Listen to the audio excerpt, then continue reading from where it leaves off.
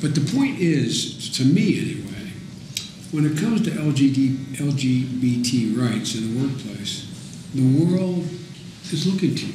I know that sounds like hyperbole, sounds like an exaggeration, but they look to you. You have more impact than anything the federal government has done, or the Supreme Court of the United States has done, or that Barack Obama and Joe Biden have done, or lighting up the White House. You have more impact. You have more impact in the countries around the world than we do on those social issues. You literally can change the terms of the debate. I don't mean overnight, but literally collectively you can change the terms of the debate and shift some public opinion. You actually put governments on notice. You have a business meeting at a hotel in New York or San Francisco or Chicago, wherever, and you have four or five people, men and women, at that business meeting.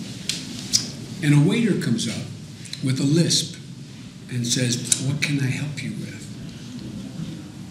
If one smart jerk at the table said, Well, let me tell you what I'd like, you'd all basically have kept your mouth shut. Wouldn't have said anything. Today, name me a business meeting in the United States of America, somebody did that. The other four people said, What the hell's the matter with you, man? That's what I mean. So many people, so many straight folks have been freed from this straitjacket of what they were expected. They thought they were expected to support.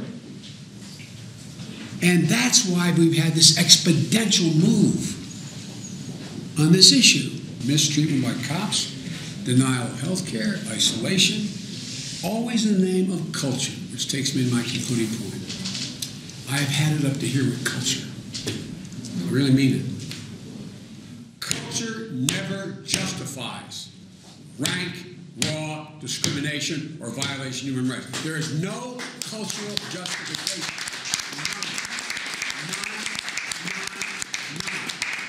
Think of the country still be hiding behind uh, this is our culture. Well, the people used to be cannibals. That was part of the culture. People used to do terrible things. It was part of the culture.